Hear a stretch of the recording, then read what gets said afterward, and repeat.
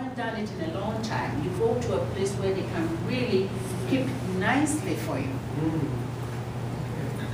You see your beauty will come out so